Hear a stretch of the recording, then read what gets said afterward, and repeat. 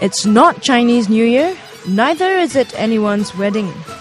Roasted sucking pig in Singapore is well known as an auspicious dish during the Lunar New Year or Chinese wedding banquets. But Italian chef Michele Pavanello has other plans. His signature dish, crispy sucking pig lacquered with black locust honey, gives an Italian twist to this tasty Chinese dish. His aim? To one up the Chinese version.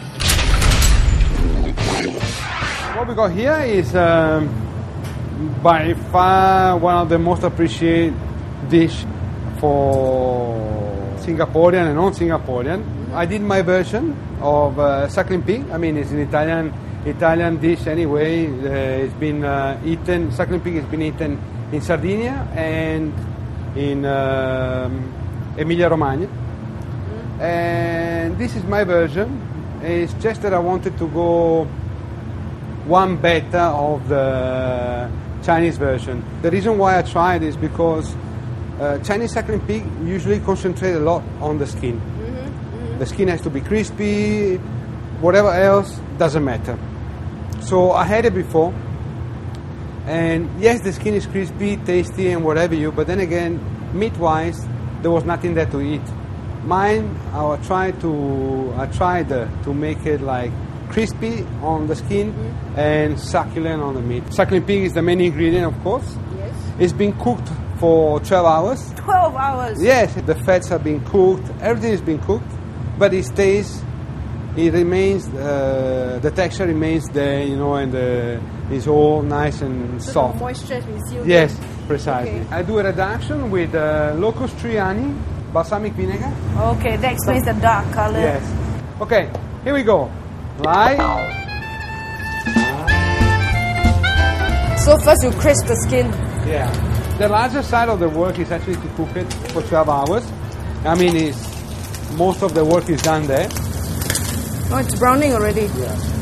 I'm using the whole uh, curve of the pan in order to crispen up evenly.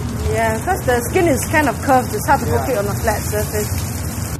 Let it dry a bit, like a painter. Paint the glaze. I let it rest for a while. Dress my salad. Toss it for a bit. Now, to the fun part.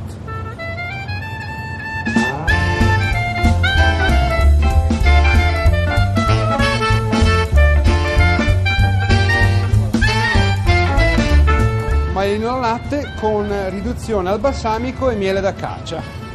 Our title's always so long in, in Italy. Because we like, uh, our food is like a poem. So you have a, a poem for its name. Of course.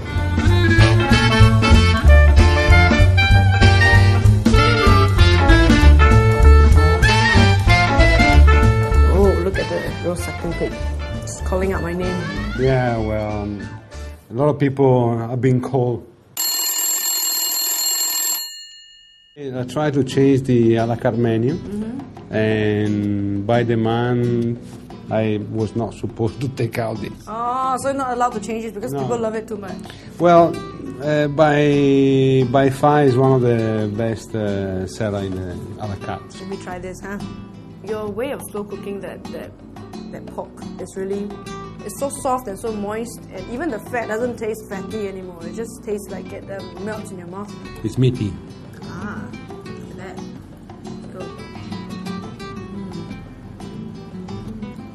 Can you hear the crunch? Mm. As a chef, have you been in restaurants in various parts of the world? Well, uh, I've been I've been traveling since I was 19. I went to work on a cruise ship, so I was doing the Caribbean, Mexico, uh, U.S., in uh, in England. I worked in South Africa. Tell us what was the very first Singlish phrase you learned?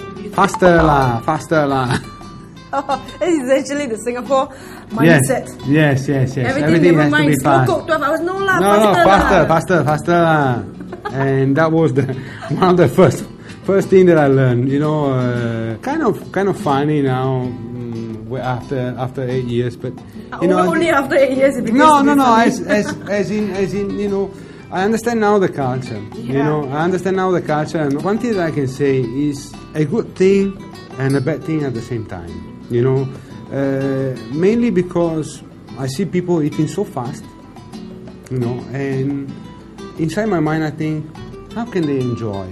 By the time you you develop the taste of one dish, you are in with the other. But then again, I believe after, I mean, a lifetime, you learn how to appreciate the taste, even even if you eat fast. You know, but it's okay. I You, mean, you that- know how the Chinese eat, right? We eat like with a lot of dishes together and yes, pick, pick, pick, pick, pick, pick, pick. pick, pick. So you like get a changing, varying Yeah. taste all Yes, the time. yes. So taste get rojak in your mouth all the time. Yes, yes, yes, yes. That's why. There's a time and place for rojak, wouldn't you say? That too is a popular local hawker dish.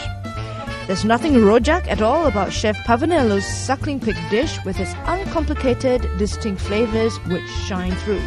And oh, this isn't the only dish that shines at Otto Ristorante. You can't go without sampling some of their signature desserts.